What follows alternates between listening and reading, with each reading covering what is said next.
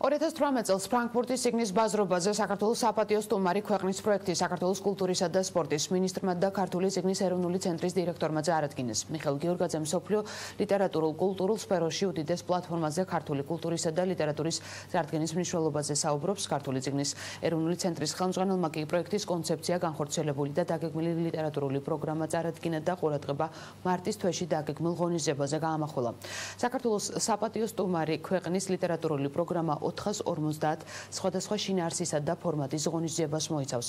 ქართულ ავტორებსა და მათ გერმანულ ენოვან გამოცემებს გერმანიის, ავსტრიისა და შვეიცარიის 29 ქალაქში უმასპინძლებენ. ქართული ლიტერატურა 20 საერთაშორისო ლიტერატურული ფესტივალის ფოკუსში მოხვდება. პარლამენტის ეროვნულ ბიბლიოთეკაში პრეზენტაცია საქართველოს მთავრობისა და პარლამენტის წევრები, დიპლომატიური корпуსის, კულტურული ინსტიტუციების წარმომადგენლები, ლიტერატორები, მწერლები და გამოცემლები დაესწრნენ. ეს არის თავარი ლიტერატურული გადაუჭარბებლად თავარი ლიტერატურული მოვლენა წლის განმავლობაში. ასე რომ ეს ნიშნავს იმას რომ 2018 წელი ჩვენი ლიტერატურის და კულტურის წარმოჩინების წელია.